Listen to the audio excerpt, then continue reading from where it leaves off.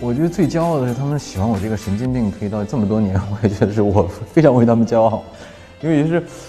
可能嗯因为我们昆明也非常的糟糕他们经常在抨击我年龄大老年人之类什么 五十大寿之类的话题我就非常的我一边生着气一边又很爱他们他们有各种不是粉丝都没有尽好自己的职责不是应该各种夸我吗？